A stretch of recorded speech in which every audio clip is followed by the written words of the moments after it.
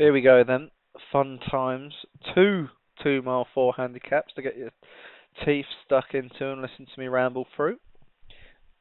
Yonkers Stargazer, two to one favourite for Vinnie Gerard. Rainbow Explorer for Leon, nine to two. In October for Gray, nine to two. Prickly Harvest for Craig, thirteen to two. Take Back Control for Gray, fourteen to one. Laura Desalada for Padraig, twelve to one. Penny Fan Monty, 10 to 1 for David Ladd, Marie Sadie, 11 to 1 for David Ladd, and Aldermore Hitchens, 9 to 1 for Padraig. That's your 9 for the Crystal Cup here in Canada. 2 mile 4 of uh, round oval track. Fun, fun, fun. Who would want to commentate on that? Anyway, there it is, the lady. Well, it's just going to get worse with the Bronze Cup when it's the same but worse horses running around, so who knows. Take back control takes them into the first bend of many, probably four or five, who knows.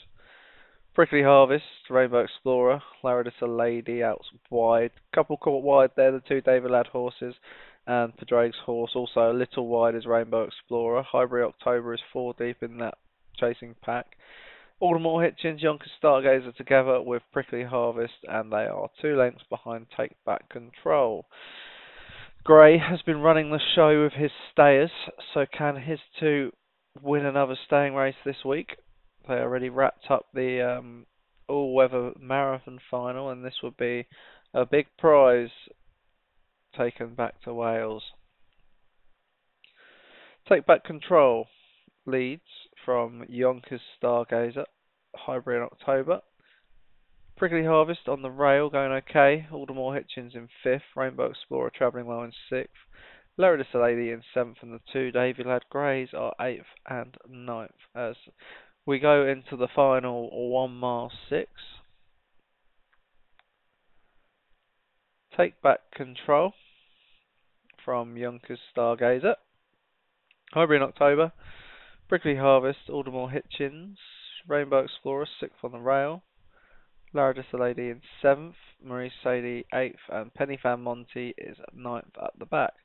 One mile four to go as they go past the road cretins on the inside of the track, punching the air. Take back control from Yonkers Stargazer, your two to one favourite. Not commentated on a Vinnie Gerard win in a in a fair while, so it'd be nice to see him get one.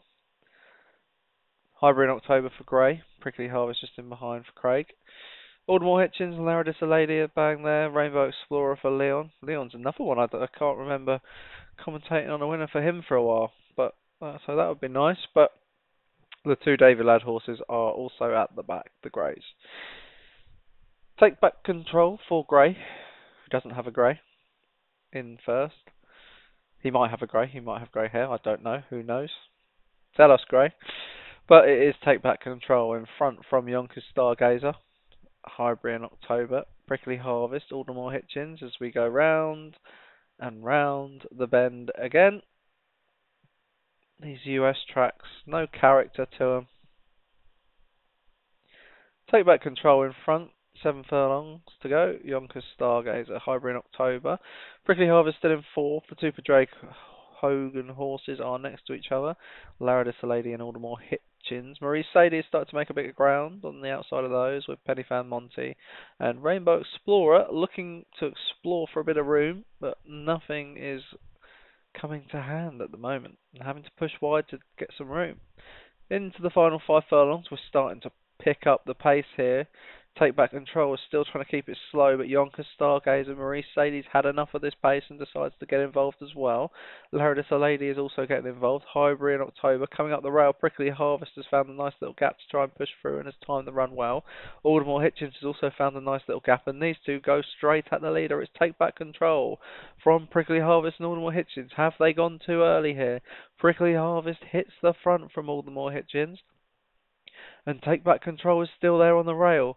Laradis Lady is also coming through as the two Davy Lad horses are up into fifth and sixth. The favourite Yonkers Stargazer has gone right back to the to the very back, but it's still in with a shout. They're all in with a shout in the first, in the final two furlongs, but the front four are clear, and it's Aldermore Hitchens who takes it up for Padraig Hogan. He could have a one-two as Laradis Lady is in front. As, as Laradis Lady is in second to that one. Prickly Harvest is trying to stay on. Take back controls dropped away. It doesn't look like it's going to be a grey winner here. We're going into the final half And with there, we're at the pole, and it's Aldermore Hitchens who wins comfortably in the end for Padraig. Solid winner of a big prize. I think it's half a million across the top five, so you're probably looking at 300,000 maybe to the winner here. And it's a good win. Aldermore Hitchens, your 25 to 1 winner of the Crystal Cup. Let's just check the full result.